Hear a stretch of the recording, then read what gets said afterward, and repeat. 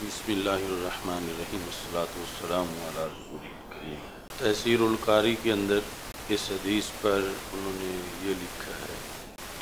फ़िया बागिया का मतलब लिखा है, मुनहरफ अज तात इमाम बरहक।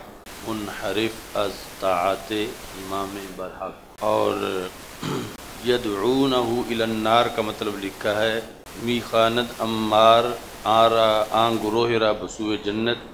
यानी बेसबब दखूल जन्नत, के अमीर की इतात जो है, यानी यदूह मिलजन्ना कहते हैं कि दरहक असहाब पैगंबर खुदा, व मुसलमान आहद के दाखिल खैरकरून व पैवस्ता बजमान नबूत व रसालत, जुज़ ई गुमा नतवा कर पीछे उसी ख़ता इजतहादी का ज़िक्र करके, जुज़ ई गुमान न तो कर, इसके अलावा और कुछ भी गुमान नहीं किया जा सकता। अजीजा अस के आल सुन्नत व जमात गुफ्तान के ख़िलाफ़ मुखालिफान अमीरमिन मबनी अस बर इजतहाद। हज़रत अली रदी अल्लाह तहो अमीरमिन के ख़िलाफ़ मुखालफन का जो इख्तलाफ था, मबनी अस बर इजतहाद के दर नफ्सुल अमर ख़ताब उदास। उस इजतहाद पर मबनी है कि जो नफ्सुल में ख़ता साबित हुआ, यानी वो जंग जमल में हो या जंग सफ़ीन के अंदर हो। एक है लफ्ज़ वैल वैलमुकज़बिन वैलमुसलिन एक है वह। इन दोनों में फ़र्क यह है कि वह जो है, ये कलमा रहमत है। उस बंदे के लिए कि जो किसी ऐसी हलाकत में, हादसे में पड़ रहा हो जिसका वो मुस्तक नहीं। तो फिर उसके लिए वह बोला जाता है यानी किसी के साथ इजहार हमदर्दी के लिए और दुआ रहमत के लिए। और वैल जो है, ये कलमा अजाब है। उस बंदे के लिए कि जो अजाब का मुस्तक हो। यहाँ इन्होंने इस माने में लिखा है कि यदूम यदू अम्मारफ़ियातलबागियाता वहम असहाब मुआवियात रदी अल्लाह तदीन कातलू हो पी वक़ात सिफ़ीन इलजन्ना इला सबबिलजन्ना जन्नत के सबब की तरफ़। सबब क्या है? वह हुआ तात अली इबन अबी तालिब रदी अल्लाह तु सबब जन्ना के मुराद ये नहीं कि उन्हें तोहीद की तरफ़ दावत दे रहे हैं, या रिसालत की तरफ़, या आखरत पर ईमान की तरफ़, या कुरान मानने की तरफ़, ये सारी चीज़ें तो पहले उनमें मौजूद हैं। तो यहाँ यदूम इलजन्ना का मतलब है कि सबब जन्नत यानी तात अमीरमिन अच्छा जी। वयदूनहू इलन्नार। तो यहाँ भी इलन्नार से पहले सबब सबब इन्नार लाकिन्नहुम माजूरून।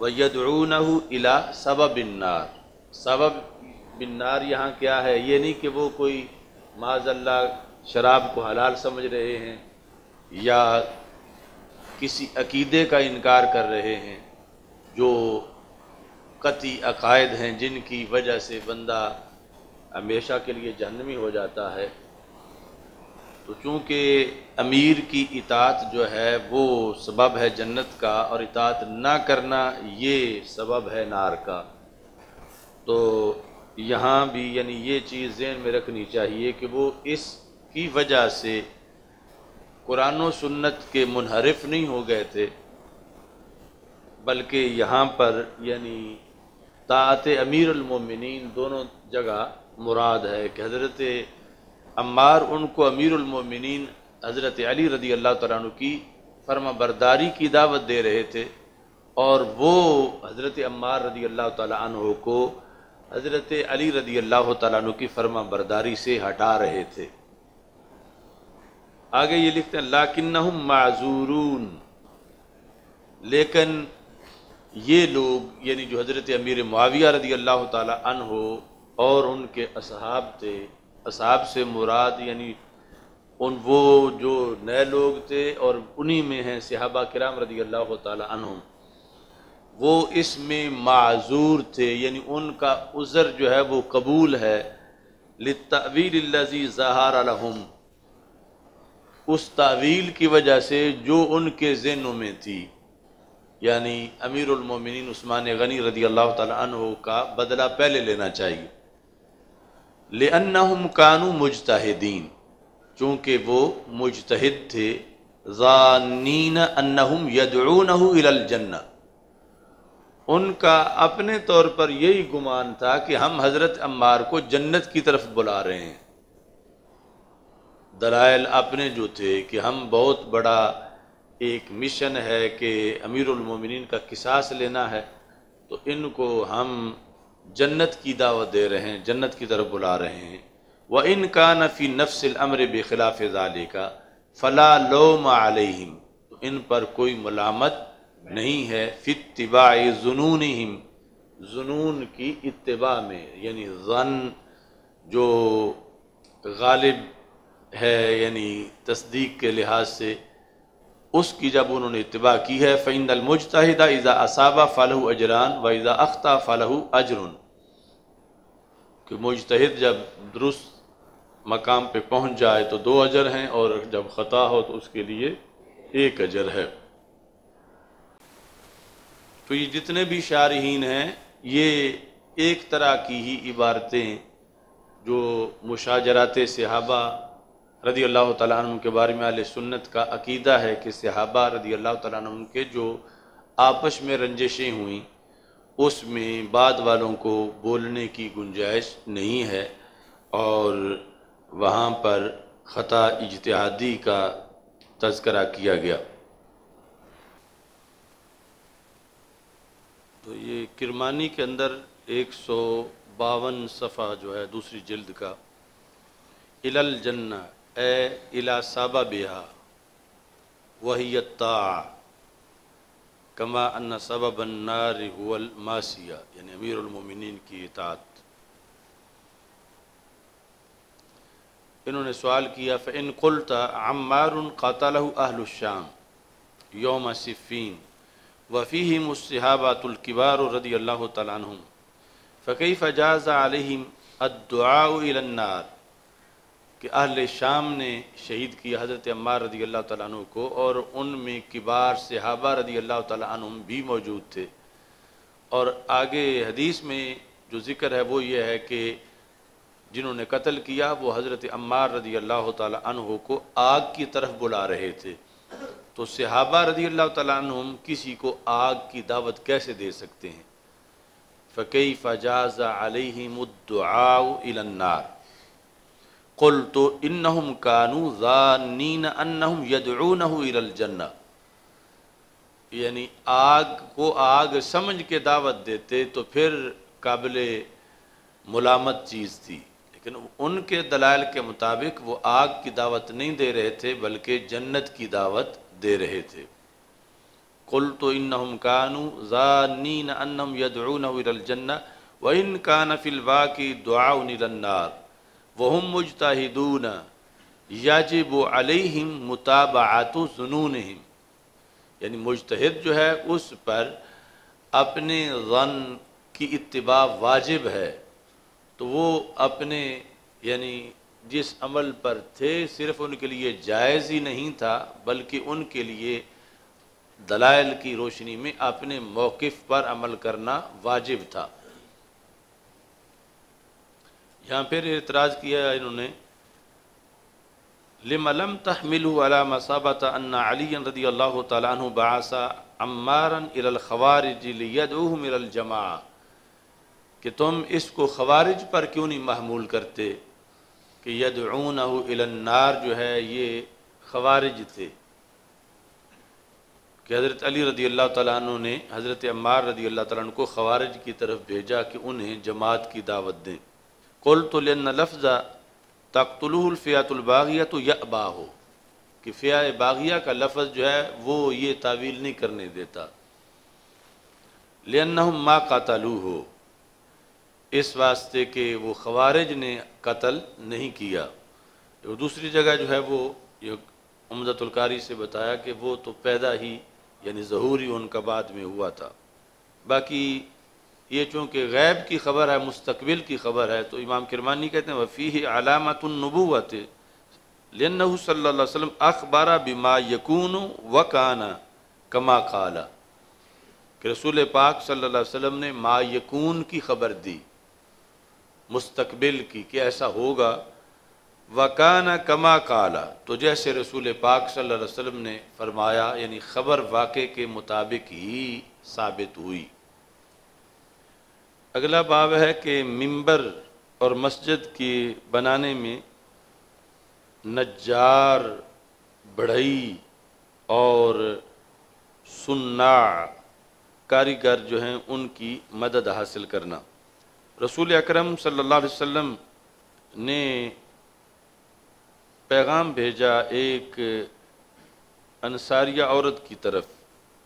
हज़रत साल रदी अल्लाह तु रिवायत करते हैं मुरी ग़ुलामा के, कि तुम हुक्म दो अपने ग़ुलाम को, वो मेरे लिए लकड़ियाँ बनाए। यानी मुराद है, यानी लकड़ियाँ, ये जुज़ बोल के कुल मुराद लिया गया है, यानी मिंबर बनाए, कि मैं उनके ऊपर बैठूँ, यानी खुतबा देते वक़्त। दूसरी हदीस में है जाबिर रदी अल्लाह तु कहते हैं कि एक औरत ने कहा, अपनी तरफ़ से पेशकश की मुराद वो एक ही सिहाबिया हैं। या रसूल अल्लाह सल्लल्लाहु अलैहि वसल्लम, क्या मैं आपके लिए ऐसी चीज़ ना बनाऊँ कि जिस पर आप तशरीफ़ फरमा हूँ? फ़िन अली ग़ुलामन नजारन चूँकि मेरे पास एक ग़ुलाम है जो कि नज्जार है, बड़ई है। रसूल अकरम सल्लल्लाहु अलैहि वसल्लम ने फरमा इन शेते अगर तुम चाहती हो तो फिर तुम बना लो तो उन्होंने मिंबर जो है वो बनाया। यानी बनाने का हुक्म दिया अपने ग़ुलाम को। अब ये दोनों हदीसें आपस में मुतारज़ हैं, क्योंकि पहली हदीस जो है साल रदी अल्लाह तला वाली है, उसमें यह है कि नबी अकरम सल्लल्लाहु अलैहि वसल्लम ने उस औरत को खुद हुक्म दिया। और दूसरी में है कि औरत ने पेशकश की मिंबर बनाने की। तो इमाम किरमानी ने मुता तत्वीक ये की है कि हो सकता है कि पहले औरत ने पेशकश की हो और उसे इजाज़त दे दी गई हो, लेकिन जब मिंबर बनने में ताख़ीर हुई तो फिर रसूल पाक सल्लल्लाहु अलैहि वसल्लम ने उस औरत को हुक्म दिया। तो हज़रत साल वाली हदीस इस बारे में है।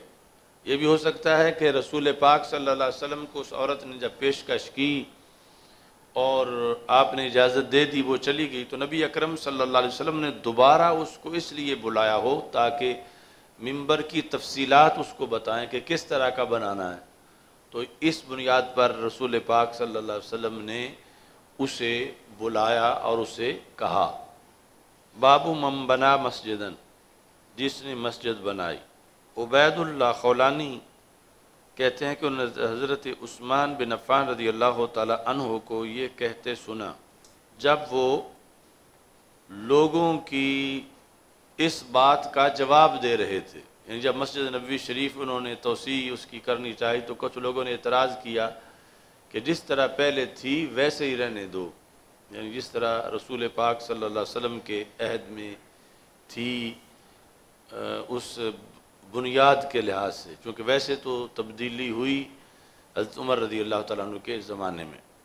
तो इन दौल नासिफ़ी है जब उन पर तनकीद कर रहे थे लोग, जब उन्होंने मस्जिद रसूल अलैहि वसल्लम को बनाने का नए सिरे से इरादा किया तो यकूलों के साथ इसका ताल्लुक है कि आप फरमा रहे थे इन नकुम अक्सर तुम, तुमने बहुत ज़्यादा मुझ पे एतराज़ किया कि मैंने क्यों मस्जिद नए सिरे से बनाई। और मैंने सुना है नबी अकरम सल्लल्लाहु अलैहि वसल्लम से, आप फरमा रहे थे, मम बना मस्जिदन, आगे जब तगी भी वजह अल्लाह बन अल्लाहू मिसलहू फिल जन्ना कि जिसने मस्जिद बनाई दरा हाल के उस मस्जिद बनाने से उसका मकसद अल्लाह की रज़ा का हसूल है तो अल्लाह उसके लिए उसी तरह का जन्नत में घर बनाएगा। तो काला बुकैर ये दरमियान में जो कि आसिम बिन उमर से ये रावी हैं तो ये दरमियान में इनका ज़िक्र किया गया कि मस्जिद के साथ सिर्फ़ बनाने का ज़िक्र नहीं, बल्कि ये कैद भी है कि बनाने में मकसद अल्लाह की रज़ा हो, यानी रिया या और कोई मकसद ना हो। तो हज़रत उस्मान गनी रदी अल्लाह ताला ने कहा कि, तुम इतना इनकार कर रहे हो और उधर इतनी फजीलत है, फजीलत वाला काम है तो मैं वो कर रहा हूँ। बाब या खुजू बिनसूल नबली इज़ा मर्रा फिल मस्जिद। कोई बंदा मस्जिद से तीर लेके गुजरे तो जो तीर के फालों वाली जिस तरफ़ लोहा लगा होता है, वो साइड है, वो ऊपर रखे। यानी उस तरफ़ से पकड़े उनको, उसके ऊपर जो कपड़ा लपेटा हुआ हो अगर लोहा जो है वो नीचे की तरफ़ ना करे ताकि मस्जिद में गुजरते हुए किसी को कोई ज़ख्म ना लगे। मस्जिद से गुजरना मरूर। जदीद अरबी में जो है ट्रैफ़िक पुलिस उसका नाम है शुरतुलमरूर और फिर मुखफ़ सिर्फ़ मरूर ही इस्तेमाल करते हैं। रसूल अकरम अलैहि वसल्लम ने इशात फरमाया कि जो बंदा हमारी मसाजिद में से किसी मस्जिद से गुज़रे या हमारे बाज़ारों में से गुज़रे तो वो जो फाला है तीरों का, उसको अपनी तरफ़ रखे रोक के और अपनी हथेली से वो किसी मुसलमान को ज़ख्मी ना करे या केरो मस्जिद में शेर पढ़ना, यानी शेर से मुराद चूँकि शेर जो है वो वैसे आम है कि उसी के अंदर बेहुदा गाने जो हैं वो भी शेर ही है। और हमदो सना ना शरीफ भी शेर ही है। तो वो जो बेहुदा गाने हैं वो मुराद नहीं, बल्कि इससे महमूद कलाम जो है वो मुराद है। और उस पर पहले एतराज़ किया गया, चूँकि उससे भी कायल जो है वो नाजायज़ समझ रहा था तो हज़रत अबू हुररा रदी अल्लाह ताला ने फिर उसकी गवाही दी कि ये जायज़ है। Abu Salma bin Abdulrahman bin Auf, उन्होंने हज़रत हसान बिन साबित शायर रसूल अलैहि वसल्लम को सुना यस तशहिदो अबा हुरैरा था दरा हाल कि वो हज़रत अबू हुरैरा रदी अल्लाह तु से गवाही मांग रहे थे, चूँकि उनसे मुआवजा हुआ था हज़रत उमर रदी अल्लाह तु की तरफ़ से कि तुम क्यों मस्जिद में पढ़ रहे हो? तो उन्होंने कहा कि जो आपसे अफजल हैं, मैं उनके सामने पढ़ता रहा हूँ, यानी रसूल पाक सल्लल्लाहु अलैहि वसल्लम से। तो आपने फरमाया, इस पर कोई गवाह पेश करो। तो फिर उन्होंने हज़रत अबू हुरारा रदी अल्लाह तु को बतौर गवाह पेश किया। तो किस तरह गवाही मांग रहे थे? अनशोदो कल्लाहा मैं तुझे अल्लाह की कसम दे के कहता हूँ। हल समेत नबिया अलैहि वसल्लम यकूल, क्या तुमने हज़रत रसूल पाक अलैहि वसल्लम को ये फरमाते सुना? या हसान अजिब अर रसूल अलैहि वसल्लम। क्या हसान अल्लाह के रसूल सलाम की तरफ़ से जवाब दो। अल्लाहद बिरूहिल कुदस। अल्लाह रूह कुदस के साथ तुम इन, तू इनकी मदद कर, हज़रत हसान की। काल अबू हुरैरा रदी अल्लाह तु नाम। तो हज़रत अबू हुरैरा रदी अल्लाह तु ने ये कहा कि हाँ मैंने ये सुना है कि रसूल पाक सल्लल्लाहु अलैहि वसल्लम ने ऐसा फरमाया था।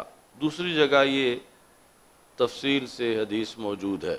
अब यहाँ सवाल पैदा होता है कि ये जो रसूल पाक सल्लल्लाहु अलैहि वसल्लम ने फरमाया, इसमें तो मस्जिद का ज़िक्र नहीं है। तो ये दलील मस्जिद में शेर पढ़ने पर देनी थी और तर्जमातुलबाब भी मस्जिद में शेर पढ़ने के लिहाज से है। और हदीस बाब में ये ज़िक्र नहीं है कि हज़रत हसान रदी अल्लाह तु ने रसूल पाक सल्लल्लाहु अलैहि वसल्लम के कहने पर मस्जिद के अंदर शेर पढ़ा और ये वाक़ मस्जिद के अंदर का था। तो ये जो बुखारी के असरार और रमूज़ हैं, उनमें ये है कि कभी मुख्तसर हदीस ज़िक्र करके मुफसल हदीस की तरफ़ इशारा करते हैं और असल तर्जमा तलबाब उस मुफसल हदीस से साबित होता है। अच्छा जी, और वो मुफसल हदीस ये है कि मर्रा उमर फिल मस्जिद, हज़रत उमर रदी अल्लाह तला मस्जिद में गुजरे, मस्जिद नबी शरीफ में।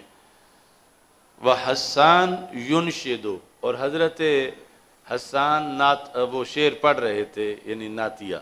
फ़जाजा रहू यानी शुरू में इतनी एहतियात और पाबंदी थी कि ये मस्जिद है, इबादत की जगह है, तुम यहाँ शेर क्यों पढ़ रहे हो? तो हज़रत उमर रदी अल्लाह तु ने झिड़की दी। तो उन्होंने कहा कुन तो अनशुदफ़ी है वफ़ी है मन व खैर उमिन का मैं मस्जिद में उस वक़्त भी पढ़ रहा था कन तो अनशुदफ़ी है फ़ी का मर्ज है मस्जिद में, चूँकि मस्जिद में पढ़ रहे थे। अब यह मुन हुआ कि सारा मुकालमा मस्जिद का था। कन तो अनशुदफ़ी है वफ़ी है मन व खैर मिन का तो जहरी हयात में रसूल पाक सल्लल्लाहु मौजूद होते थे तो मैं पढ़ता था। सुमल तफ़त अला अभी रह था। तो इसी दौरान फिर तब रदी अल्लाह तु भी पास थे, उनसे कहा कि आप गवाही दें। तो जो चीज़ सवाल में मुन हो जाती है, जवाब में भी वही मुन होती है। ये बद खलक की जो किताब है, उसके अंदर इमाम बुखारी ने यह तफसीली हदीस को ज़िक्र किया। असहाब हिराब का मस्जिद में होना। असहाब हिराब। तो इमाम ऐनी ने हज़रत उमर रदी अल्लाह तु की जो गुफ्तु थी, यानी उसकी वजह बताई कि वो बिला वजह झिड़की नहीं दे रहे थे। बल्कि हदीस शरीफ है कि नहा रसूल रसूलुल्लाह सल्लल्लाहु अलैहि वसल्लम अन तनाशुदिल अशार फिल मसाजिद, कि मसाजिद में शेर पढ़ने से रसूल पाक सल्लल्लाहु अलैहि वसल्लम ने मना फरमाया।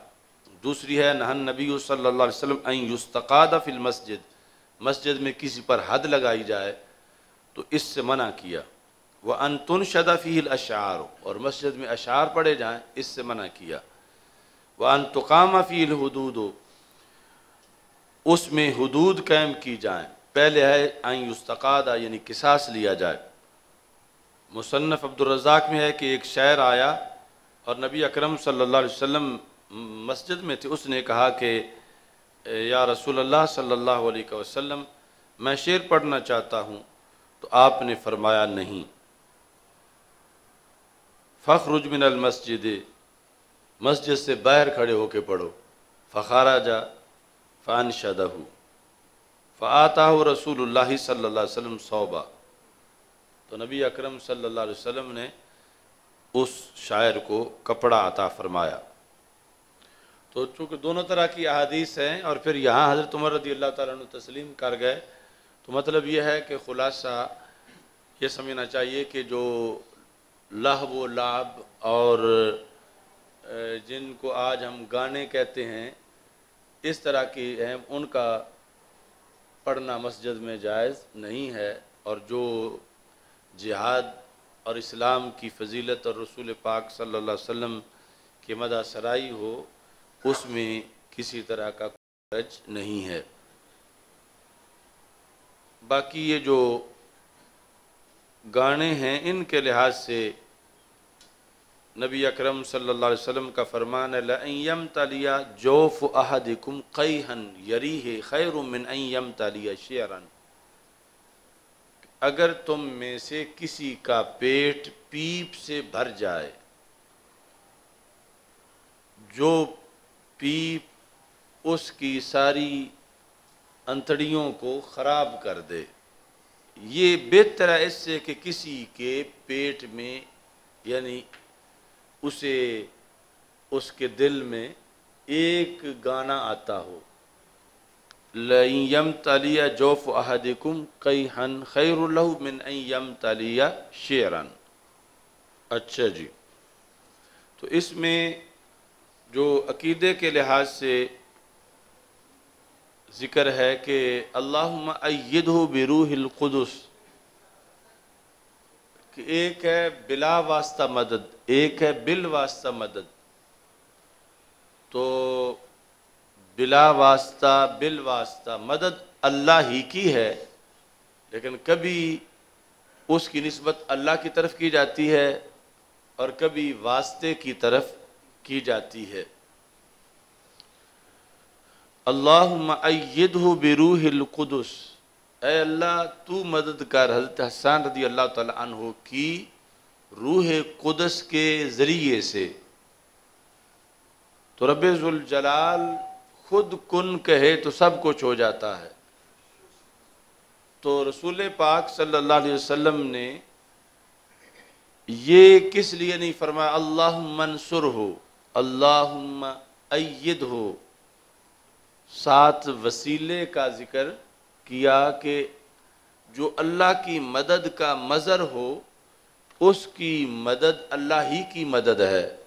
तो रूहुल कुदस अगरचे गैरुल्लाह है, लेकिन उसके ज़रिए से मदद मांगी गई। और अल्लाह ताला ने उसके ज़रिए से मदद की। तो इस बुनियाद पर, यानी ये जो अहलुल्लाह हैं, इनको बुतों पर क्यास नहीं किया जा सकता। यानी कहीं ऐसा नहीं है कि अल्लाहुम्मा अय्यद हो बिल हुबले वल्लाते वलमनाते, माजल्ला, ऐसा नहीं है। तो आज ये धांधली है कि अल्लाह वालों को बुतों पर क्यास करना। अल्लाह वालों के ज़रिए से मदद का हसूल ये शरीयत मुस्तफ़ा सल्लल्लाहु अलैहि वसल्लम है। और दूसरी तरफ़ यानी जो बुत हैं, उनसे रोका गया है।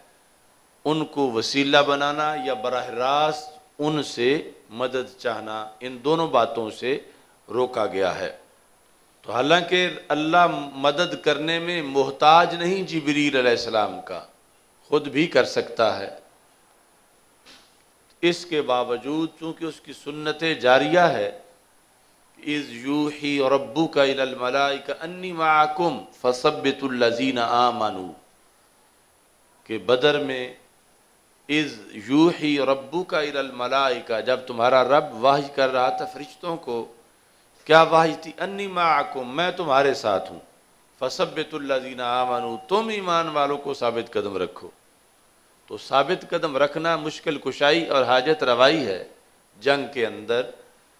तो जलाल ने खुद क्यों नहीं साबित कदम रखा? उन्हें कहता है कि तुम साबित कदम रखो। मैं तुम्हारे साथ हूँ, आगे तुमने जाना है। अन्नी माकुम फसबितुल्लजीना आमानू। नामे पारे में और छब्बीसवें में अपनी तरफ़ नस्बत करता है, या यादीन आमनु इन तनसुरकुम वयुसबित अकदामकुम। ईमान वालों, अगर तुम अल्लाह ताला की मदद करोगे, अल्लाह तुम्हारी मदद करेगा और अल्लाह तुम्हें साबित कदम रखेगा।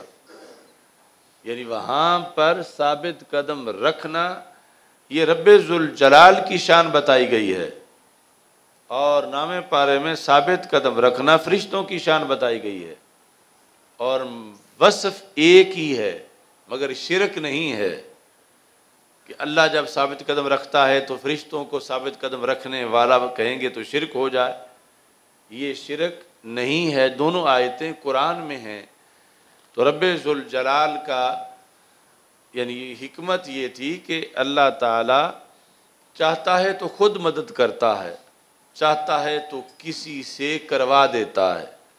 वमन नसर मिन दिल्ला और दोनों सूरतों में मदद अल्लाह की ही होती है। तो ये कुरैश मक्का के मुकाबले में, यानी ये वाज किया गया उनको कि तुम्हारे बुत मदद को नहीं पहुँचे, मुसलमानों के, अल्लाह के बंदे भी मदद को पहुँच गए हैं। मतलब यह कि तुम्हारे मबूद, मुसलमानों के मबूद के बंदों का मुकाबला नहीं कर सकते, मबूद का कैसे मुकाबला करेंगे? तो इस वास्ते इन रब जलाल ने फरिश्तों से मदद करवा कर ये वाज कर दिया कि मेरे बंदे इतने ताकतवर हैं और मेरी कुदरतों का आलम क्या होगा? तो इस तरह यानी जो अल्लाह की मदद के मज़र हैं, उनकी तरफ़ मुतवजह होने से या उनकी मदद से अल्लाह की तोहद का नुकसान नहीं होता, बल्कि इससे तोहद का इजहार होता है। यानी रब जलाल बदर के मैदान में फरिश्तों से मदद ना करवाता, खुद मदद करता तो ये भी जायज़ था, लेकिन उसने फरिश्तों से मदद करवाई और इस चीज़ को वाज कर दिया कि अगर बदर के मैदान में अल्लाह और बंदों के दरमियान फरिश्तों का वसीला हो तो शिरक नहीं तो बाद में भी अल्लाह और बंदों के दरमियान अल्लाह वालों का वसीला माना जाए तो शिरक नहीं होगा। दूसरी तरफ़ अल्लाहद बिरूहिल कुदस, कुरान मजीद के दसवें पारे में आयत नंबर बासठ है, व ई युरीदू यख दाऊ का और अगर वो कुफ़ार इरादा करें तुझे धोखा देने का। काफ ज़मीर से मुराद रसूल अक्रम अलैहि वसल्लम है।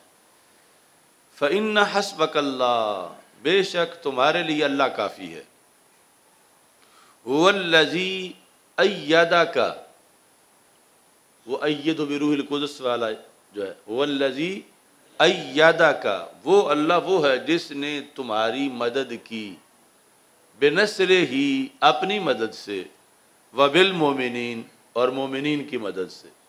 बेनसर ही वबिल मोमिन तो यहाँ ये सवाल है कि जब अल्लाह की मदद हो जाए तो पीछे कमी बाकी नहीं रहती। तो फिर आगे वबिल कहने की क्या गुंजाइश थी?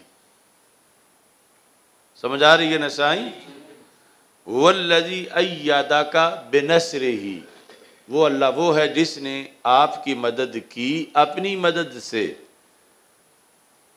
यानी जो मदद मिनल्ला है तो अल्लाह की मदद जो है, उसके बाद फिर और किसी की मदद की गुंजाइश बचती ही नहीं। ना अल्लाह ताला को माजल्ला कभी कोई कमज़ोरी है, ना यह है कि वो सो जाए और किसी और को मदद के लिए इसलिए मुन करे। ना वो दौरे पे जाता है, ना वो बीमार होता है, ना उस पर मौत आती है। तो उसकी मदद तो एक ऐसी मदद है, ना उसके ख़जानों में कोई कमी है कि उस मदद के बाद फिर किसी मदद की कोई गुंजाइश नहीं बचती। तो फिर आयत जो है, हुवल्लजी अयदा का बेनसर ही पर ख़त्म हो जानी चाहिए थी। आगे, वबिल मोमिन क्यों कहा गया? ये सवाल जो है, ये नहीं जमकशरी ने कशाफ में किया। और हमारे ये जो एतकादी दलाइल हैं, उनके लिहाज से भी ये कहते हैं कि या तो अल्लाह ताला से कुछ चीज़ें ना मिलती होती तो फिर तुम वलियों के दरबारों पे जाते। जब तुम्हारा अकीदा है कि सब कुछ अल्लाह के पास से मिलता है और उसके ख़जानों में कोई कमी नहीं है तो फिर तुम वलियों के दरबारों पे क्या लेने जाते हो? और फिर तुम जब रब सब कुछ देता है तो फिर तुम ये क्यों कहते हो भर दो झोली मेरी या मोहम्मद सल्लल्लाहु अलैहि वसल्लम या तो ये कहो कि उसके ख़जानों में कोई कमी है माजल्ला या ये कहो कि किसी वक्त ख़जाने बंद होते हैं अल्लाह ताला आ, सुनता नहीं माजल्ला या और दौरे पे गया हुआ है तो ये कोई बात भी वहाँ नहीं। तुम मानते हो वो हयुन क्यूम है, उसे नींद नहीं आती, वो बीमार नहीं होता, वो दौरे पे नहीं जाता, उस पे मौत नहीं आ सकती, उसके ख़जानों में कोई कमी नहीं। तो फिर हर शय उसी से मांगो। फिर तुम दूसरी जगह से जाके क्यों मांगते हो? तो ये आयत इनके इस एतराज़ का जवाब है। वल्लजी अयदा का बेनसर ही कि हर चीज़ जब अल्लाह की मदद में आ गई तो पीछे कोई गुंजाइश ही तो बिल मोमिन फिर क्यों कहा गया? तो उसका जवाब जो है, वो हमारे मौकफ़ के मुताबिक ही दिया जा सकता है। यानी देवबंदी वहाबी अपने मौक़ पे कायम रह के इसका जवाब नहीं दे सकते। यानी ये जो असल एतराज़ है, इस वास्ते कि हमारे नज़दीक ये है कि ये एतराज़ व बिल मोमिन वाला तब होता कि जब मोमिन की मदद, अपनी मदद होती, यानी अपने पास से। तो फिर ये होता कि अल्लाह की मदद के होते हुए अब मोमिन की मदद की क्या ज़रूरत है? तो मोमिन खुद तो तिनका भी नहीं हिला सकते, लेकिन अल्लाह की मदद का मज़हर बन जाते हैं। अब मोमिन में अहल बैत रदी अल्लाह तुम असहाब रदी अल्लाह तुम में और इन्हीं के अंदर इबाद के माने में फरिश्ते भी हैं। तो वबिल मोमिन ये गैर की मदद नहीं है। गैर की मदद, ये भी अल्लाह ही की मदद है। सिर्फ़ अल्लाह की मदद की किस्में दो हैं? एक ये है कि अल्लाह मदद करे वसीले के बगैर। दूसरा ये है कि अल्लाह मदद करे वसीले के साथ। वो वसीला के जिसके हम मोहताज हैं, वो मोहताज नहीं है। तो रबाल की मदद की ही दो किस्में हैं। अगर कोई दूसरी मदद होती तो फिर ये एतराज़ होता कि पीछे क्या गुंजाइश रह गई। अल्लाह की मदद की दो किस्में हैं और उसकी ये मर्ज़ी है कि वो जो तरीका इख्तियार करे। उसे कोई रोक नहीं सकता कि तूने खुद करनी है, किसी से नहीं करवानी। या किसी से तूने करवानी या खुद नहीं करनी, ये अल्लाह ताला को कोई नहीं कह सकता, ला युस आलू अम्मा यफ आलू वहम युस आलून अल्लाह ताला से सवाल नहीं किया जा सकता कि तुमने ऐसा क्यों किया? यानी कोई कहे कि बदर में रब तूने खुद करनी थी, फरिश्तों को क्यों भेजा? ये अल्लाह ताला पर कोई एतराज़ नहीं कर सकता। तो अल्लाह ताला की मदद की दो किस्में हैं। एक किस्म का ज़िक्र बेनसर ही में है, दूसरी किस्म का ज़िक्र बिलमोमिन में है। तो रब जलाल की मर्ज़ी है, चाहे वो बेनसर ही के लिहाज से मदद करे या बिलमोमिन के लिहाज से मदद करे। तो इस बुनियाद पर ये यकीन रखते हुए कि अल्लाह सब कुछ देता है, सब कुछ उसके पास है, फिर भी वलियों के मज़ारात पे जाना, या रसूल पाक सल्लल्लाहु अलैहि वसल्लम से हाजत तलब करना, ये इसलिए जायज़ है कि रब ने बिनसर ही पर बात ख़त्म नहीं की, और इसलिए जायज़ है कि यहाँ से जो मिलेगा वो अल्लाह ही का है। यानी ये जवात अपनी तरफ़ से कुछ नहीं दे सकती। अल्लाह का दिया हुआ देती हैं। जैसे अल्लाह की मदद की दो किस्में आयत में बयान कर दी गई बेनसर ही वबिल मोमिन तो दोनों बातें इनमें से किसी को कोई रिजेक्ट करे तो कुरान का मुनकर हो जाएगा। वो चाहता है तो बेनसर ही पे मदद आ जाती है, चाहता है तो बिल मोमिन से मदद आ जाती है। चाहता है तो खुद करता है, किसी को दरमियान में वसीला नहीं बनाता। चाहता है तो किसी को अपनी मदद का मज़र बना देता है। तो इस बुनियाद पर चूँकि रब की मदद मिलती दो जगहों से है, खुद उससे भी और अल्लाह वालों से भी तो इस वास्ते आल सुन्नत दोनों तरफ़ ही रबता रखते हैं कि रब की मर्ज़ी का कोई पता नहीं उसने खुद करनी है या किसी से करवानी है। तो ये अल्लाह ताला के फ़ज़ल के हसूल के लिए गैर की मदद के लिए नहीं, अल्लाह ही की मदद जिसके दो किस्में हैं, उसके लिए ये अल्लाह वालों की तरफ़ रजू करते हैं। समझ आइए साई? तो इसका यानी वहाबिया के पास कोई जवाब नहीं। ये इस आयत का कि वह बेनसर ही जब आ गया तो कमी क्या रह गई? आगे बिल मोमिन कहने की तो गुंजाइश ही नहीं है। या तो यह है कि बाज़ चीज़ें माजल्ला रब ना दे सकता होता और मोमिन का ज़िक्र किया जाता, वो सब कुछ दे सकता है। लेकिन इसके बावजूद उसने ये ऑप्शन रखा है, बिनसर ही व बिल मुमिन तो यह है अल्लाह हो बिरूहिल कुदस। तो जबरील मदद करें या बदर में फरिश्ते मदद करें तो ये गैरुल्लाह की मदद नहीं है। चूँकि जब मदद करके ये फारग हुए तो अल्लाह ताला फरमाता फ़लम तकतलूहम वला किन अल्लाह कातलाहम. और अल्लाह कहता वमन नसरुल्ला मदद अल्लाह की है, अगरचे उसका मज़हर बंदे बने हों, मदद अल्लाह ही की है। तो मस्जिद में जंगी अस्करी तरबियत हासिल करना, हिराब छोटे नेज़े को कहते हैं तो मस्जिद के अंदर जो चीज़ें ममनू थी, उनका भी ज़िक्र कर दिया। और जो जायज़ थी, उनका भी ज़िक्र किया कि ट्रेनिंग मस्जिद में, यानी मस्जिद के सेन में, या जो मस्जिद का मुजाफात है, उसमें ट्रेनिंग हासिल की जाए। महलब ने कहा कि मस्जिद जो है, वो जमात मुसलमिन के मामलात के लिए बनाई गई है। वकुल्ल मकान मिनलामालती तजमा मनफ़ात दीन व हर वो काम जिससे दीन का फ़ायदा होता है और अहल दीन का फ़ायदा होता है, वो मस्जिद में किया जा सकता है। वल्लाब बिलहराब मिन तदरीबिल जवार अलामानहरूब और ये जो ला बिल हरब ये क्या है? मिन तदरीब। तदरीब कहते हैं प्रैक्टिस को, मशक को। तदरीबिल जवार आज़ा की प्रैक्टिस किस पर? अलामानिल हरूब। जंग के मुख्तलिफ़ तरीक़ों पर। यानी उस वक़्त तो ज़्यादा दखल जिस्मानी सेहत पर था। यानी ये नहीं कोई बटन दबाना है तो मिज़ाइल जाकर मिज़ाइल लग जाना है।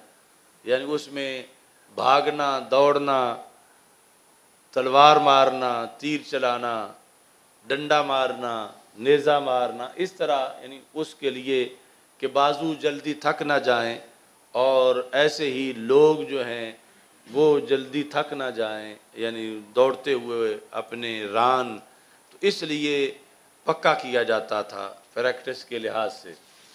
तो अब हकीकत ये है, लेकिन इससे तहरुल्कादरी ने ये इस्तदलाल किया है कि यानी मस्जिद के अंदर जो है वो खेल कूद जायज़ है और मुख्तलिफ़ इस तरह के फ़ंक्शन जो हैं वो जायज़ है कि वो कहते हैं कि हबशी हैं, डांस कर रहे थे मस्जिद में।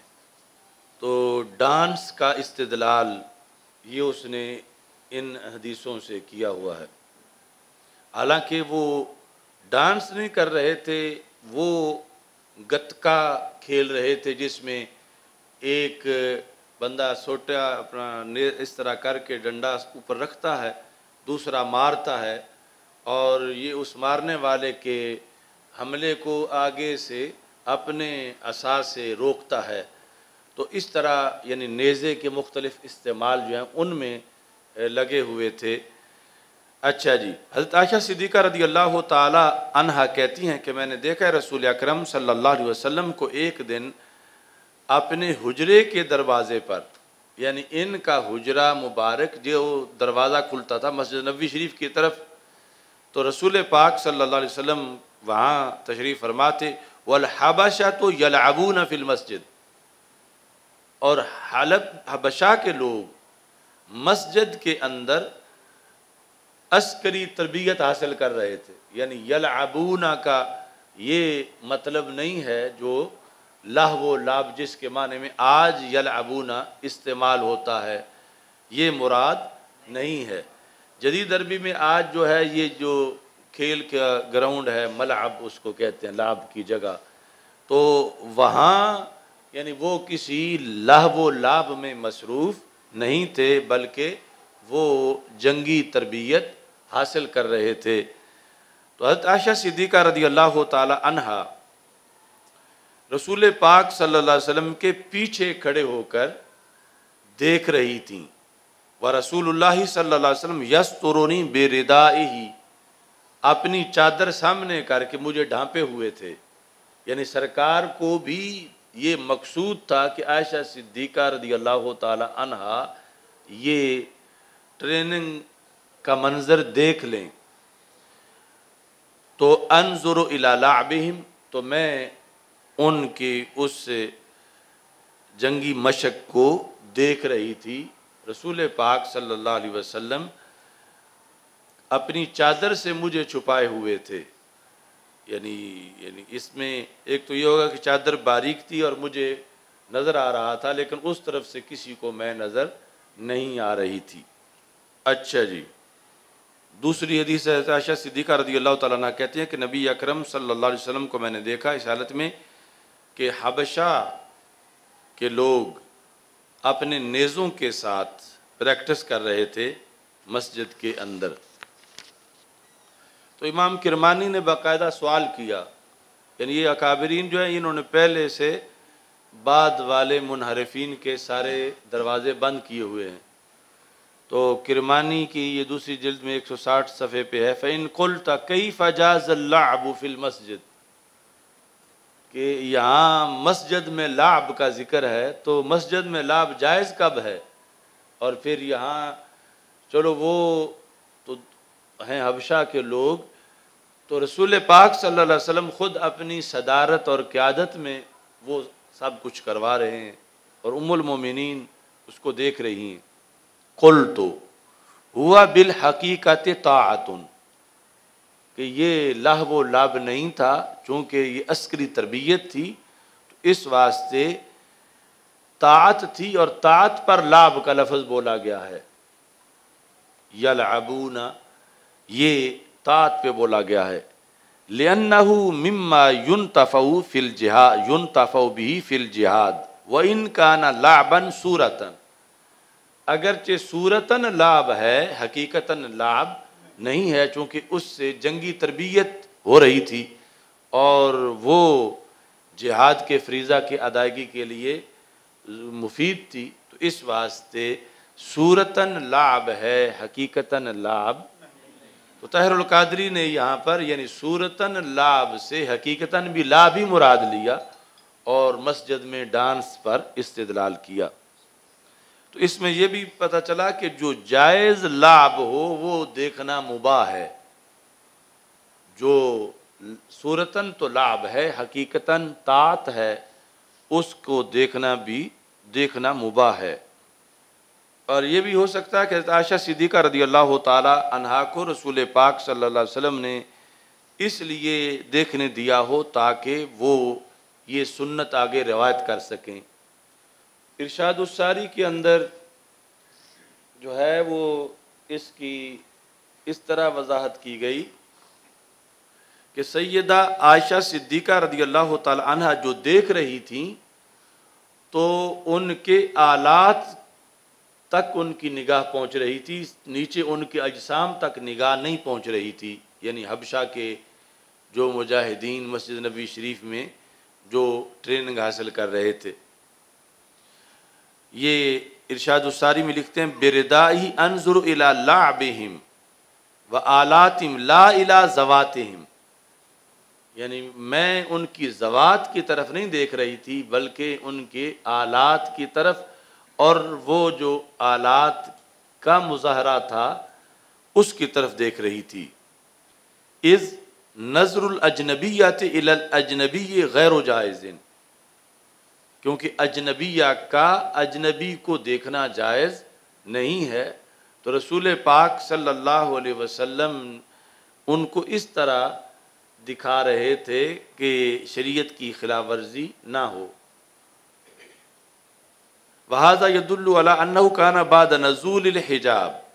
इससे पता चलता है कि ये वाक़ आयत हिजाब के बाद का है। यानी पहले होता तो फिर तो आगे कपड़ा करने की भी ज़रूरत नहीं थी। इमाम किरमानी जो है, उन्होंने इससे, ये इस्तलाल किया है, अकूल वफ़ी जवाज़ व नज़र नसा रिजाल, के औरतों का रिजाल की तरफ़ देखना जायज़ है, लेकिन व वजूब इस्तार हिन्न अनहम, कि ख़ुद छुप के रहें।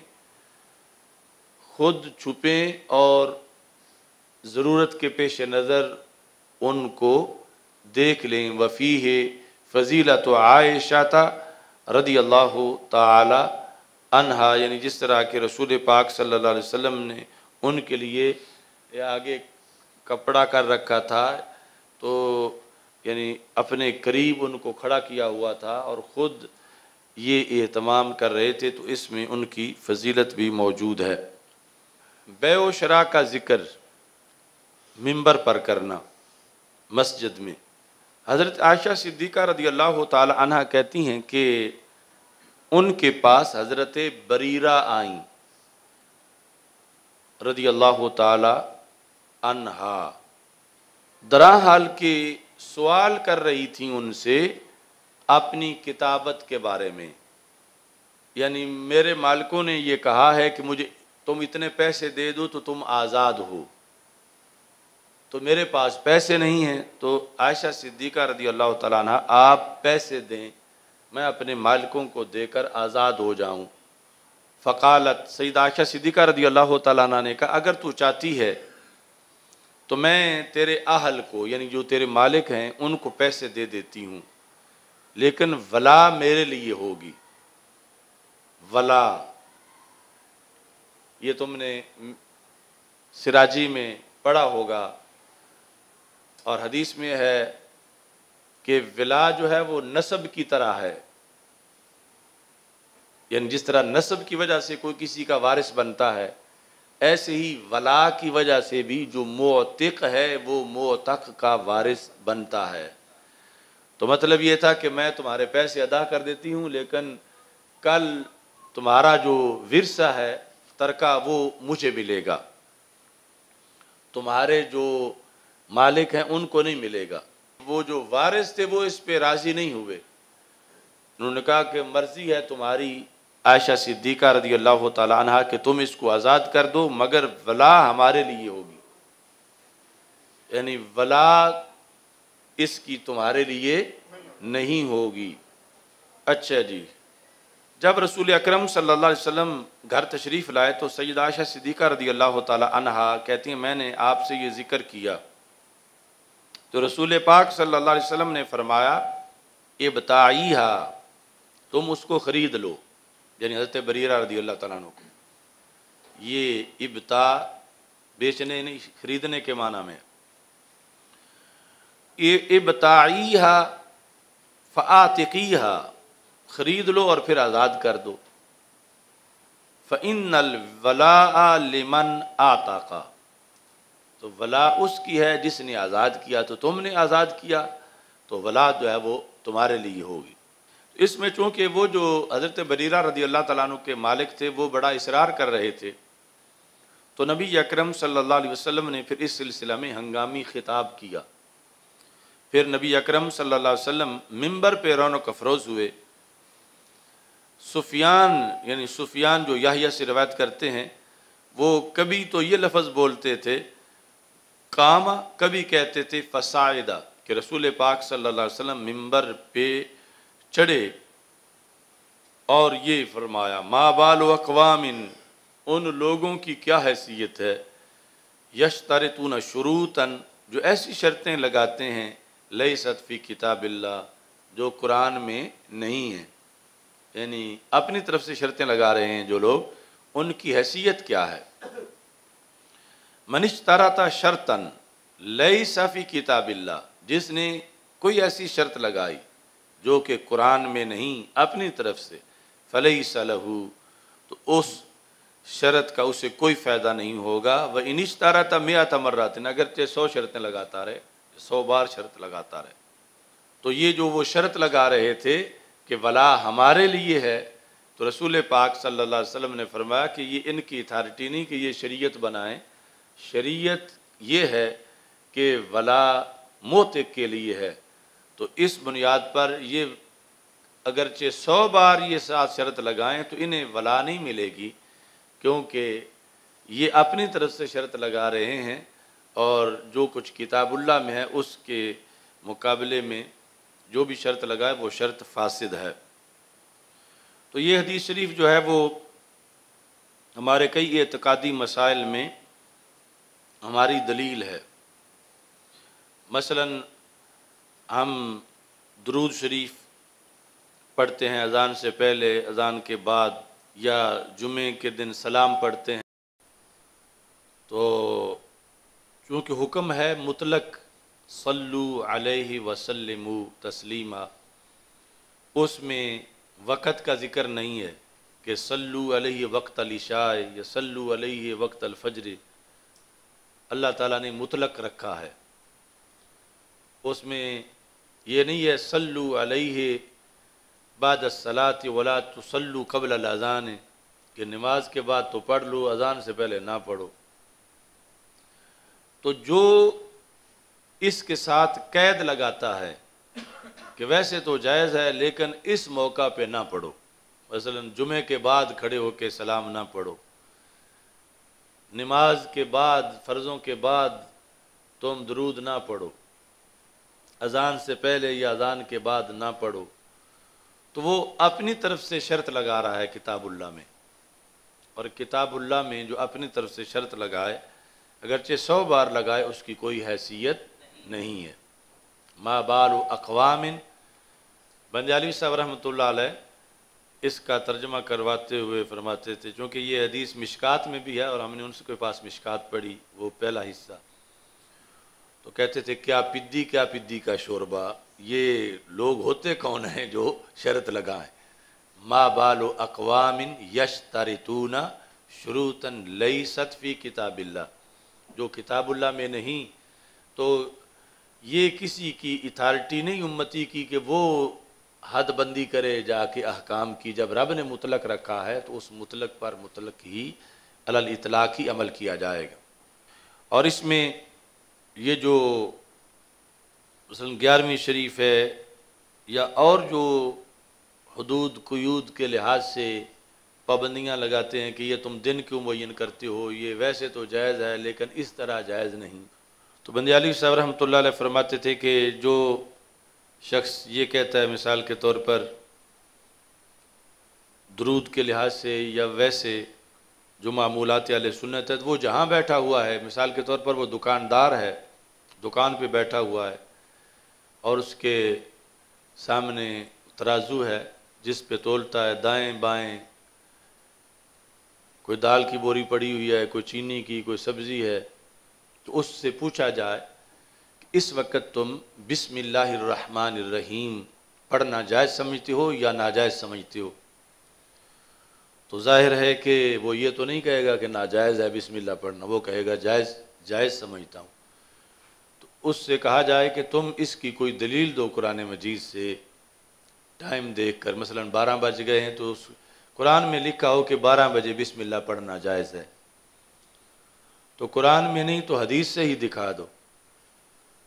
और फिर ये कहो कि बारह तो रोज़ बजते थे उस वक़्त भी तो क्या एक दिन भी ऐसा नहीं हुआ? एक हदीस भी नहीं है। जिस तरह वो कहते हैं कि हज़रत बिलाल तो इतने साल अजान देते रहे। तो ये रोज़ बारह बजते रहे या जो भी टाइम है तो वो उस पर दलील नहीं पेश कर सकता। हालाँकि जायज़ समझता है। दलील देगा तो अहल सुन्नत के तरीके पर देगा। अहल सुन्नत का सब हिस्म रब आला।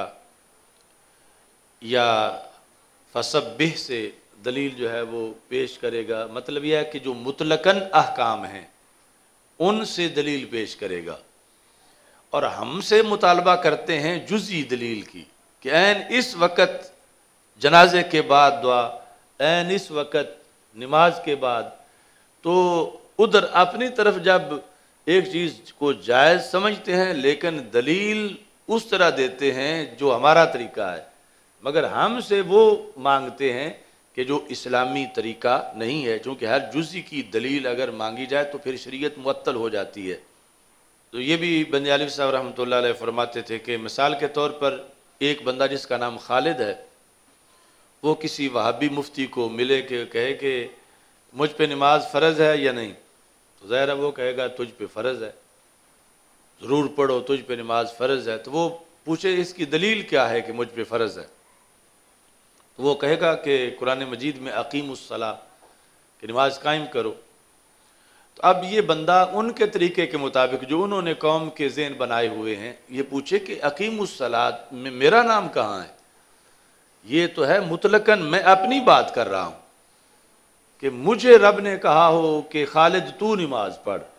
आखिर मैंने सारी ज़िंदगी पढ़नी है तो मेरा नाम ले कि मुझे जो हुक्म होगा मैं वो मानूँगा। ये अकीम उसला मुतलकन, ये तो हर किसी की बात है, मैं अपनी बात पूछता हूँ।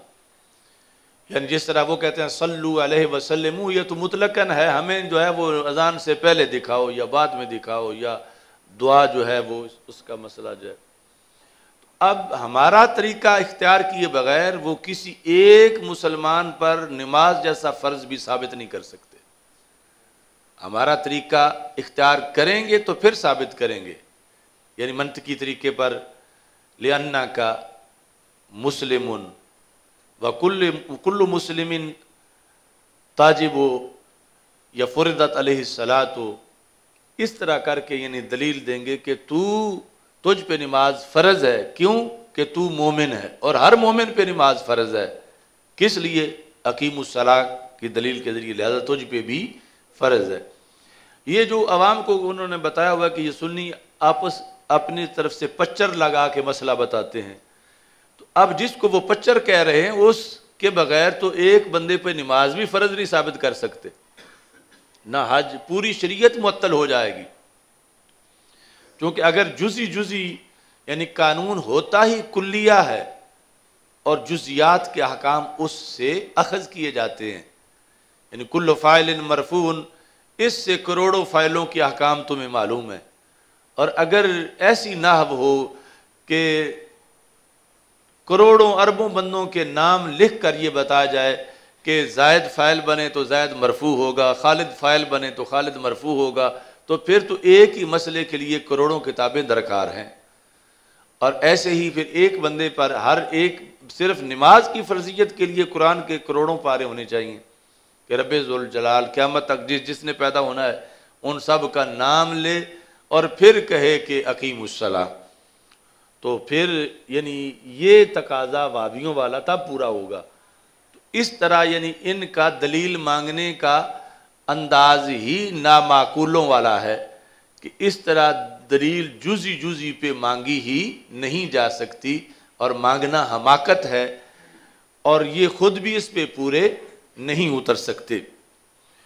तो ये जो माबाल अकवाम ये जो हमारा मुनाजरा हुआ था तालब के ज़माने में, दुआ बाद अज नमाज़ जनाजा पर, ज़िला मंडी बहुद्दीन में मुराला जगह पे, वो छपा हुआ भी है।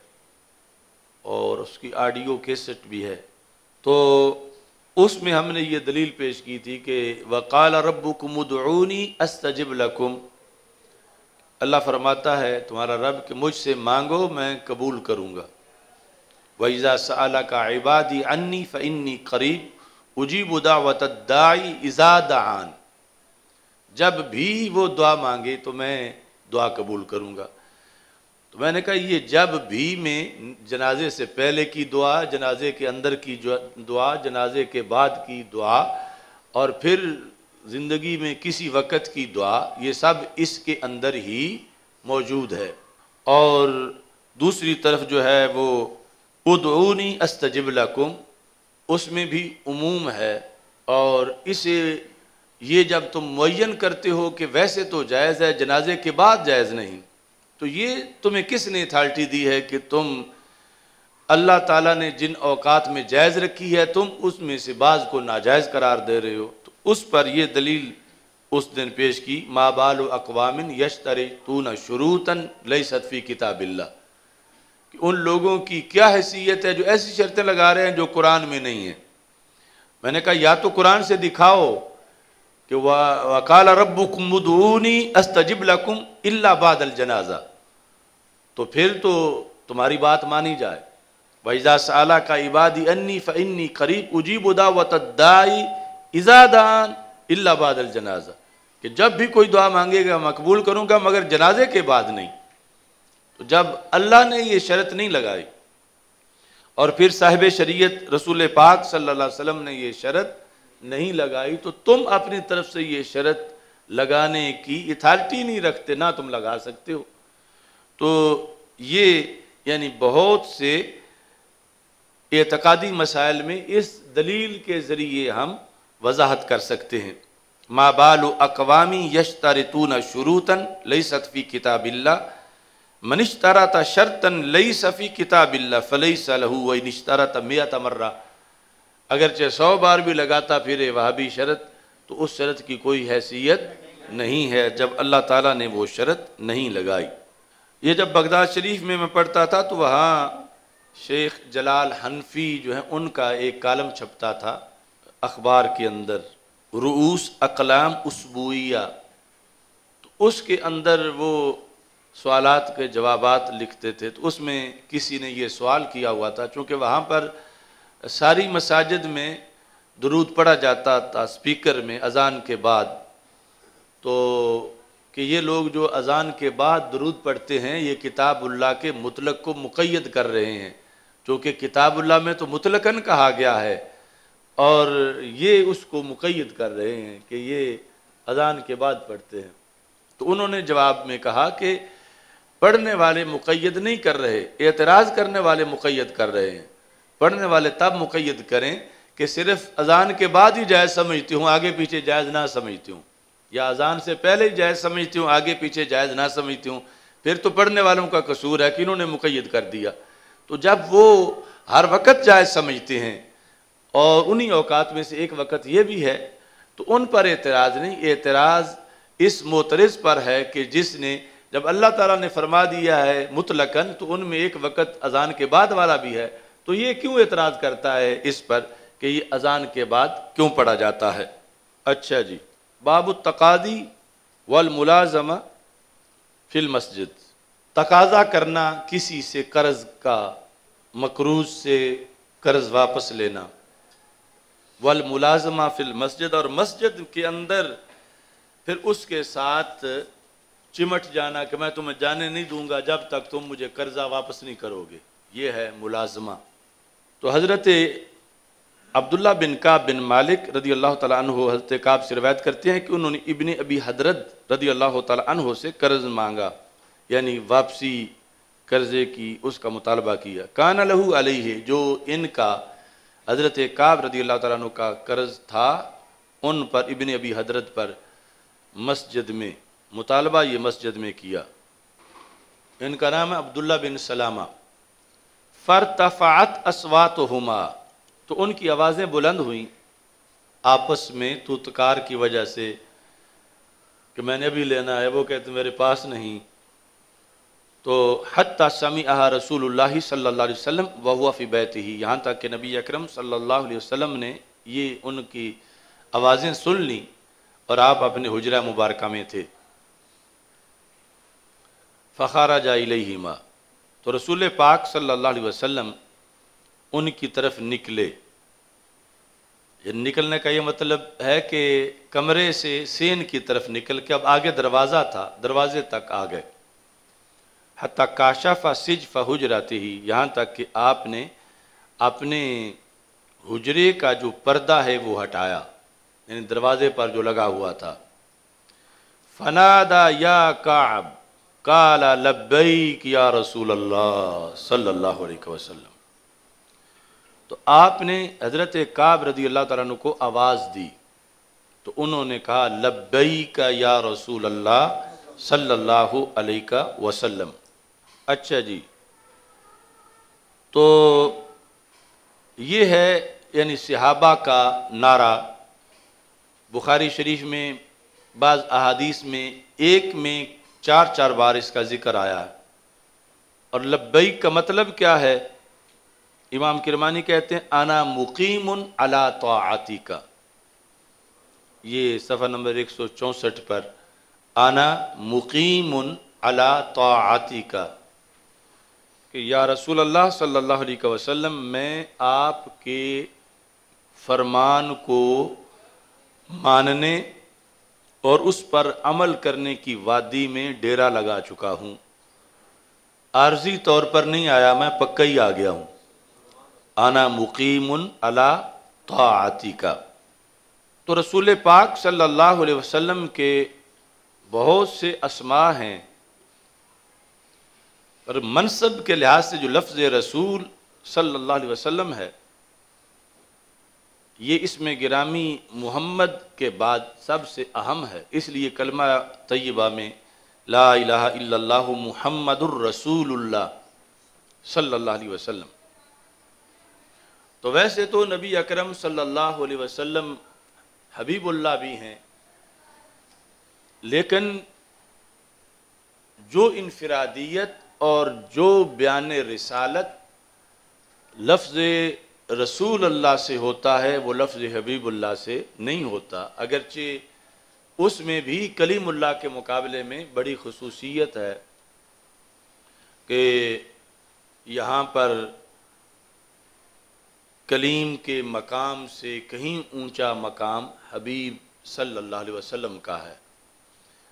मगर सहाबा किराम रदी अल्लाह तम ने उसी, यानी कलमा तय्यबा से ये लफ्ज़ हासिल किया और फिर इस पर मोर लग गई रसूल पाक सल्लल्लाहु अलैहि वसल्लम की तरफ़ से। यानी ये मेरे मुताला में पूरे ज़ख़ीरा हदीस में जिस तक पहुँचा, कहीं भी यानी सरकार ने किसी को बुलाया हो और उसने आगे से कहा लब्बैक या हबीब अल्लाह ऐसा नहीं, बल्कि जब भी बुलाया गया किसी को तो कहा लब्बैक या रसूल अल्लाह सल्लल्लाहु अलैहि वसल्लम। तो चूँकि जो सरकार की रिसालत से मुनहरफ हो तो वो तो मारा जाए दुनिया आखरत में, कि लब्बैक या रसूल अल्लाह ना कहो। यानी या रसूल अल्लाह सल्लल्लाहु अलैहि वसल्लम में तो वो कलमे का हिस्सा है। इस बुनियाद पर अगरचे बाकी रसूल पाक सल्लल्लाहु अलैहि वसल्लम के खसाइस भी बहुत से हैं और असमा भी बहुत से हैं, अलकाब बहुत से हैं, मगर उनमें से कोई भी ऐसा नहीं जो लफ्ज़ रसूल का मुतबादल बन सके। यहाँ तक कि लफ्ज़ नबी भी इससे नीचे है। वरना कलमा होता, ला इल्लल्लाह मुहम्मदुलनबील्ला तो मुहम्मदुलरसूलुल्लाह सल्लल्लाहु अलैहि वसल्लम। तो उस बुनियाद पर, यानी ये सबसे अहम इबारत है अपनी वफाओं के इजहार के लिए। ये जिस वक्त गाजी साहब की तहरीक जो है, वो उरूज पर थी, उसके बाद के जो मामला थे उनमें ये जो नवाज़ शरीफ का दामाद है, कैप्टन सफदर, इसने एक तंजीम बनाई थी लब्बई या हबीब अल्लाह यानी वो हमारे तोड़ के लिए कि इनका सिर्फ़ नारा ही गूंजता है तो सब कुछ मंशूर उसमें आ जाता है। और फिर उसको रोका कैसे जाए? तो उसने बाकायदा वो अखबार में उसकी छपी थी, सब लब्बई किया हबीब अल्लाह तो मगर लब्बई किया रसूल अल्लाह सल्लल्लाहु अलैहि वसल्लम, चूँकि ये नारा बुखारी शरीफ से माखूज है, हदीस मुस्तफ़ा सल्लल्लाहु अलैहि वसल्लम में और सरकार दो आलम सल्लल्लाहु अलैहि वसल्लम की इस पर तस्दीक है। और कलमा तय्यबा का एक हिस्सा इसके अंदर मौजूद है। तो या हबीब अल्लाह जो है, उसका भी अपनी जगह बहुत मरतबा व मकाम है और उसका इनकार करना भी जायज़ नहीं है। लेकिन, या रसूल अल्लाह सल्लल्लाहु अलैहि वसल्लम, ये जिस तरह उधर है ना, ला इलाहा इल्लल्लाह, उसमें लफ्ज़ अल्लाह जो है, उलूहियत के लिए है। हालाँकि रब रहीम भी है, करीम भी है, खबीर भी है, सत्तार भी है गफ़ार भी है, लेकिन लफ्ज़ अल्लाह जो है, हर दौर में यही कलमा रहा है। ला करीम, किसी दौर का कलमा नहीं था। ला रहीम, किसी दौर का कलमा नहीं था। क्योंकि रहीम कहने से तोहीद बयान नहीं होती। कि रहीम तो अल्लाह भी है, रहीम अल्लाह के रसूल सल्लल्लाहु अलैहि वसल्लम भी हैं।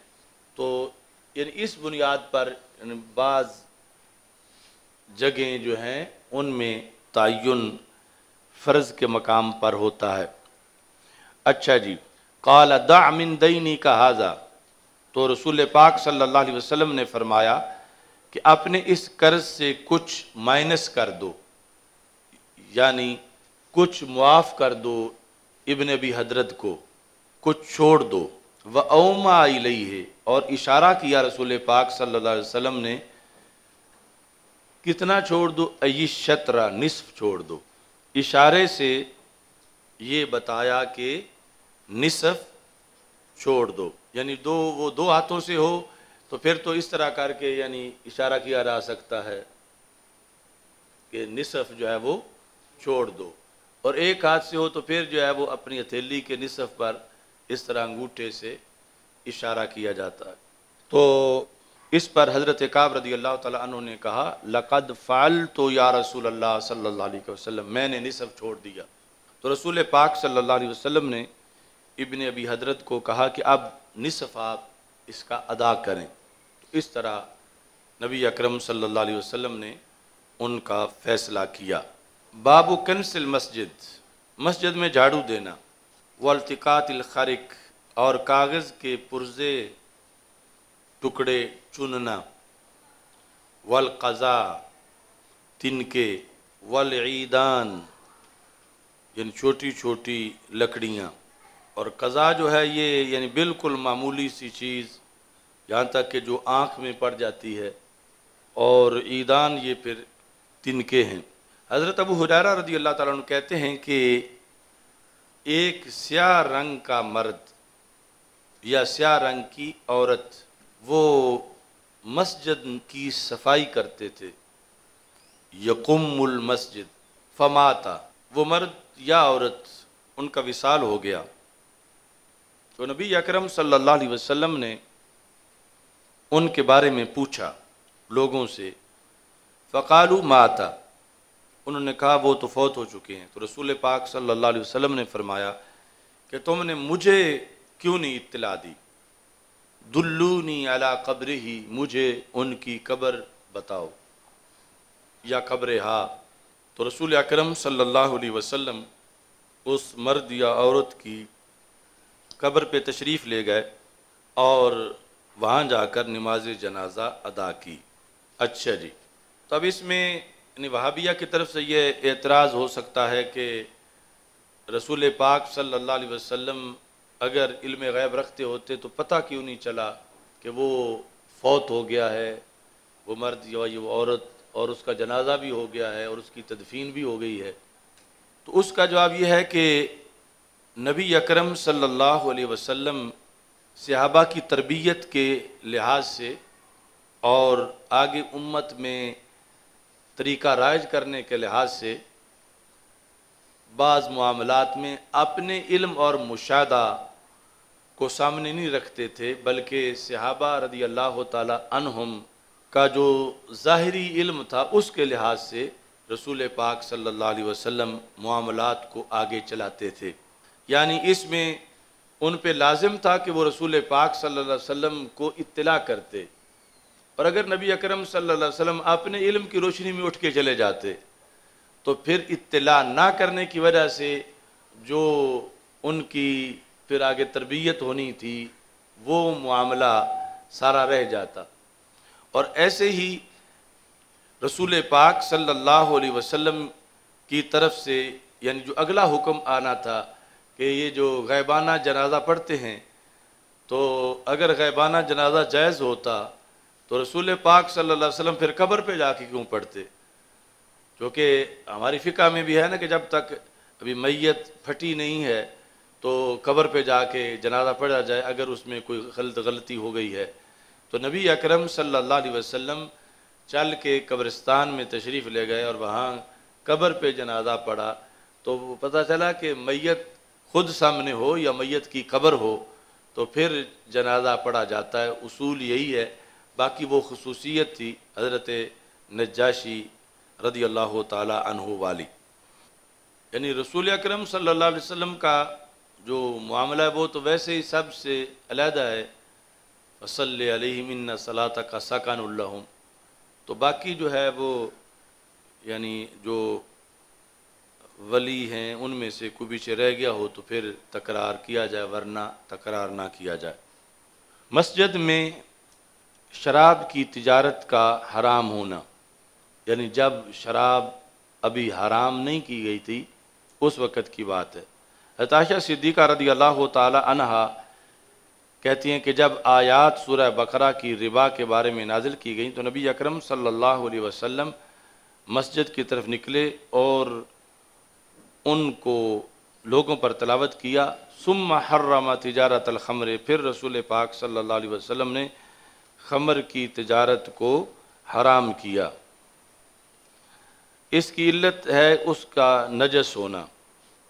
तो यानी वैसे तो बाकी तजारत भी जायज़ नहीं है मस्जिद के अंदर बेचना, ख़रीदना, लेकिन ये ज़्यादा इसकी सूरत हाल बिहांग थी तो नबी अकरम सल्लल्लाहु अलैहि वसल्लम ने इसका खसूसी तौर पर इससे मना किया। तो इससे ये पता चला कि जो मुहर्रमात हैं और गंदी चीज़ें हैं, तकरीर करते वक़्त अला वजह नह या अला वजह मना, उनका ज़िक्र किया जा सकता है। यानी कोई ये ना कहे कि तुम्हें शर्म नहीं आ रही कि मस्जिद में मिम्बर खड़े हो के तुम शराब का नाम ले रहे हो। और तुमने जना का लफज बोल दिया है तो जब वो तकरीर में जना की मजम्मत के लिए तकरीर कर रहा है तो ये लफ्ज़ बोलना उसके लिए ममनू नहीं है।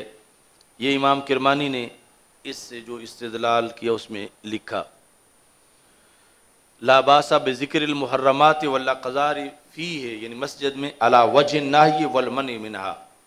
बाबुल ख़दम मस्जिद। ख़दम, खादिम की जमा है। मस्जिद के लिए खादमीन। तो अब्दुल्ला बिन अब्बास रदी अल्लाह तु ने कहा नज़र तुल्ला का माफ़ी बतनी मुहर्रा इस आयत की तफसीर में कि नज़र तुल्ला का मुराद है लिल मस्जिद यखदमुहा, कि जो मेरे पेट में है, मैंने सैदा मरियम रदी अल्लाह तहा ने कहा कि मैंने उसकी नज़र मानी कि वो मस्जिद की खिदमत करेगा। अच्छा जी। बाकी मस्जिद के अंदर फिर आगे कई एहतमाल हैं, यानी बैतुलमुक़दस या इसके अलावा मस्जिद भी मुराद ली गई है। बाबुल असीर वलगरी में अबू हुरैरा रदी अल्लाह ताला कहते हैं कि एक औरत और एक मर्द वही हदीस है पिछली, कानत तकुमुल मस्जिदा। मस्जिद में वो सफ़ाई का अहतमाम करते थे। आगे वो हदीस है। बाबुल असीर वलगरीम युरबातु फिल मस्जिद। कैदी और मकरूज़ जिसको बाँध दिया गया मस्जिद के अंदर। हत अबू हुरैरा रदी अल्लाह तहो नबी अकरम सल्लल्लाहु अलैहि वसल्लम से रवायत करते हैं इन्ना इफ़रीतम मिनल जिन्न, एक बहुत ज़्यादा ताकतवर जिन वैसे तो इफ़रीत जो है वो बड़े शाम को कहते हैं। नाग और महँगाई का इफ़रीत सबको निकल रहा है। तो इफ़रीत बहुत बड़ा जिन तफल्लाता अलई अलबारिहाता आ धमका अचानक गुजशत रात मेरे पास। या इसके मुतबादल रसूल पाक सल्लल्लाहु अलैहि वसल्लम ने कोई अल्फाज बोले तो सबसे करीब जो रात गुजरी हुई हो, उसको बारहा से ताबीर किया जाता है। अच्छा जी, क्यों आया? यकता सलाता, ताकि वो मेरी नमाज़ तोड़े। इसलिए उसने हमला किया था। फ़म काना मिन हो तो अल्लाह ने मुझे उसको दबोचने की ताकत अता फरमाई। तो मैंने इरादा किया कि मैं इसको बाँध दूँ मस्जिद के सतूनों में से एक सतून के साथ। अगरचे वो बड़ा आकड़ खां था, यानी इफरीत था, लेकिन मैं उसको बांधने पर कुदरत रखता था। इरादा किया, यहाँ तक कि तुम सुबह के वक़्त सारे आओ और देख लो उसकी तरफ़। लेकिन फिर मैंने ऐसा ना किया। फ़ज़कर तो कौला अखी सुलेमान। तो मुझे सुलेमान सलाम, जो मेरे भाई हैं, यानी नबी, उनका कौल याद आया कि उन्होंने कहा था रब हबली मुल्क ला यम बगी हदीम मिम्बादी कि मुझे ऐसा मुल्क दे जो मेरे बाद और किसी के लिए ना हो। तो इस वास्ते मैंने फिर बांधा नहीं। तो रावी कहते हैं कि जो है अकबरा ना रोह व मोहम्मद उबन जाफ़र, ये दोनों रावी हैं शोभा से। तो कहते हैं फ़रदहू खासिया। तो रसूल पाक अलैहि वसल्लम ने उसको रद्द किया, दराहल के वो धुतकारा हुआ था। यानी पहले तो इरादा किया कि उसको पकड़ को बांधें तो फिर इस तरह धक्का दे के जा दफ़ा हो, इस तरह करके, यानी रद्दाहू खासिया। उसको रद्द कर दिया। अब सवाल पैदा होता है, यहाँ गरीम का ज़िक्र तो नहीं आया। तो उसका जवाब यह है कि वो असीर पर ही क्यास किया जाएगा और असीर का ज़िक्र आया शैतान के लिहाज से। इबन बताल कहते हैं कि इफरीत का देखना, यानी वो जिन जो है, ये रसूल पाक सल्लल्लाहु अलैहि वसल्लम के खसाइस में से है। जिस तरह के सरकार दो आलम अलैहि वसल्लम फरिश्तों को देखते थे और वो आपके खसाइस से था और बाकी शाज व नादिर किसी को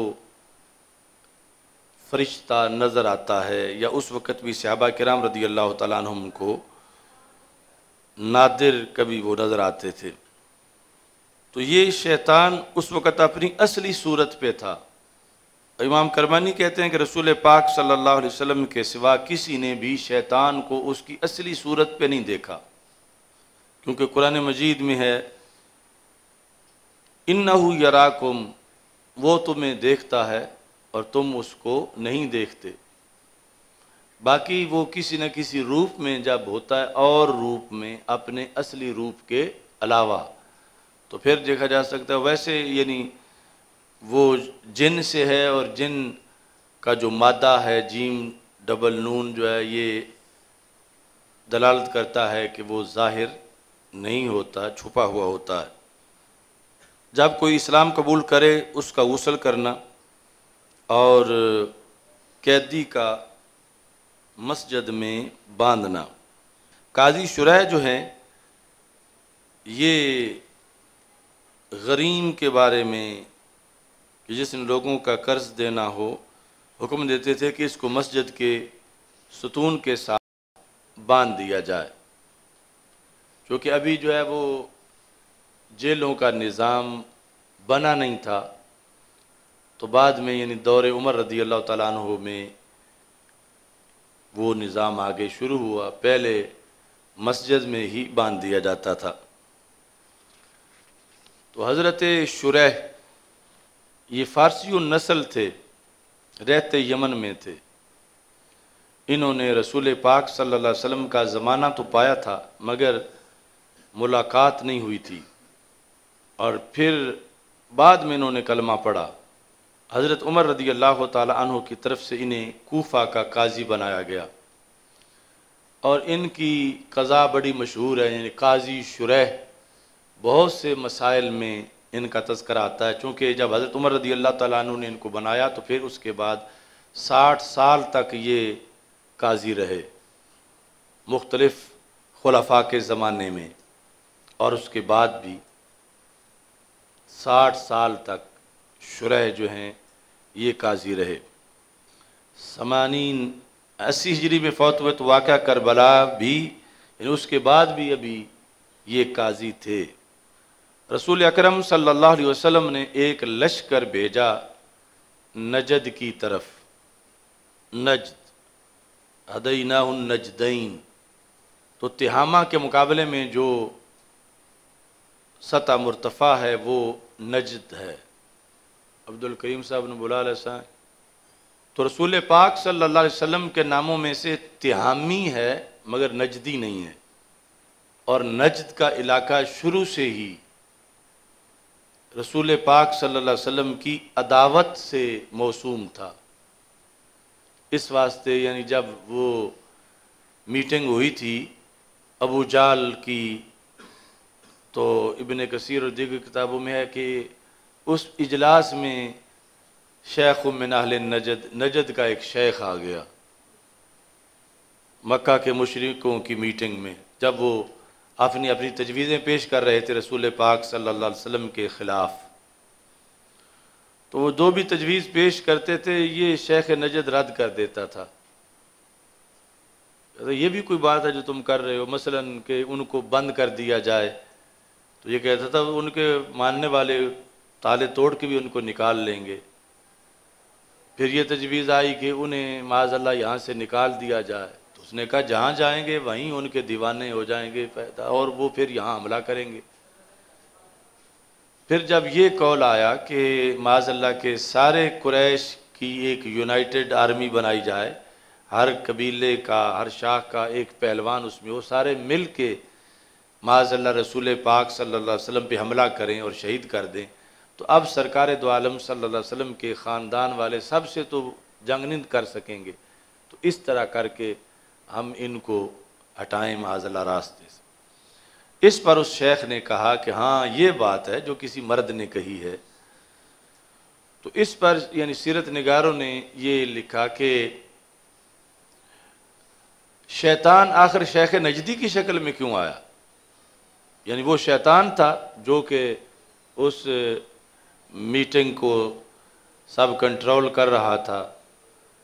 तो उसमें ये लिखा मुख्तलिफ़ जो अरबी की हैं सीरत की किताबें उनमें भी कि चूँकि उस वक़्त नजद का इलाका रसूल पाक सल्लल्लाहु अलैहि वसल्लम के दुश्मनों का इलाका शुमार होता था तो इस वास्ते फिर वो शैतान उनको यकीन दिलाने के लिए कुरैश मक्का को कि मैं तुम्हारे साथ कही हूँ, मैं कोई नरमी नहीं करूँगा रसूल पाक सल्लल्लाहु अलैहि वसल्लम के लिहाज से तो अपना तारफ़ उसने शेख नजद के लिहाज से ही करवाया।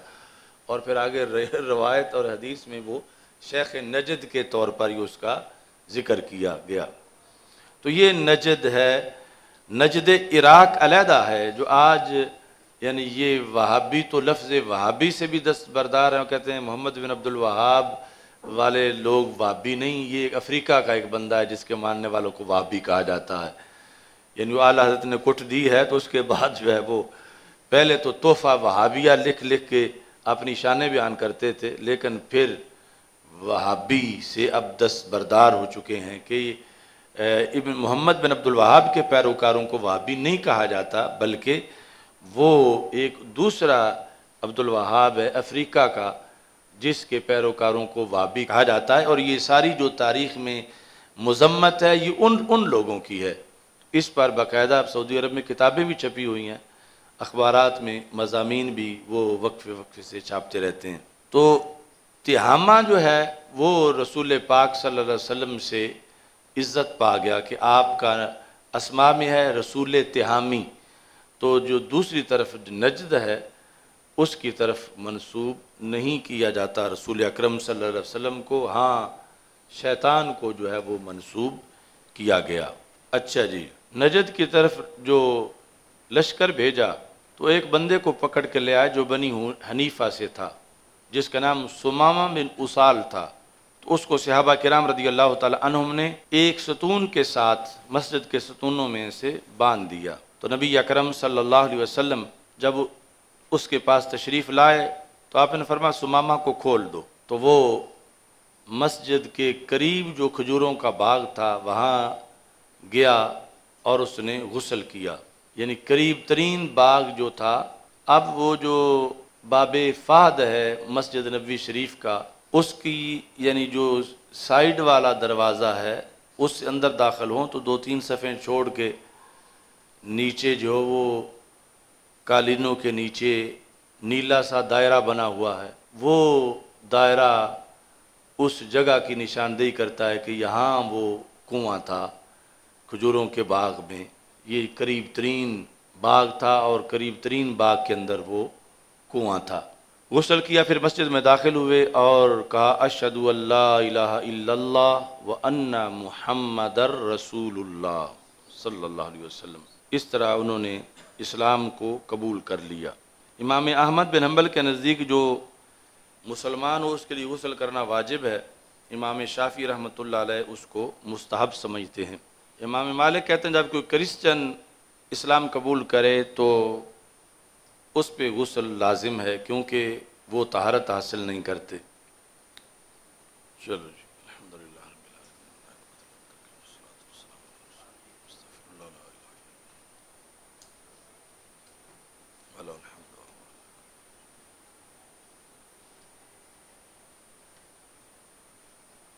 जी सल्लल्लाहु अलैहि